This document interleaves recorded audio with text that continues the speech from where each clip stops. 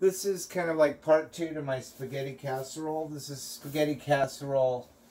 Uh, what is it? My friend Doug asked me. He says, "Well, you're supposed to show the finished product, whatever he called it." It's like, what was the end result? The end result.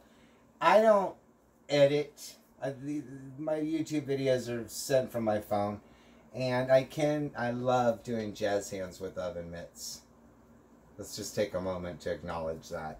Uh, everything's on my phone. So I don't, I can splice it together. I've done it before, but nothing to upload to YouTube. And I forgot that he wanted the reveal. So I'm going to just put this part two. Spaghetti casserole revealed. And the, the other video is like 20, almost 22 minutes long. It's going to take, I think, 90 minutes to upload. It said two hours. So smells like it smells like spaghetti pizza. Seriously. It's man food.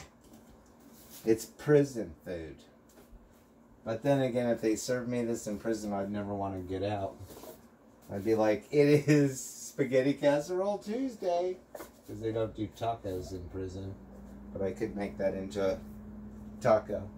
So on that note, that is the spaghetti casserole revealed.